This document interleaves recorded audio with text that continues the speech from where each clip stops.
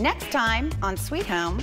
I'll put your wallet in this box. Yeah, please do. We're gonna have to have a little talk about that. I'm gonna have to maybe throw in the B word for you. Budget. Budget, yeah.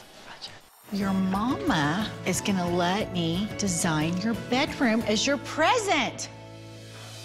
At this past competition, you didn't come into the building until two numbers before I went. I was on the phone and with and, uh, Emily. I just want you to know I'm here and I'm supporting you. Be careful what you wish for.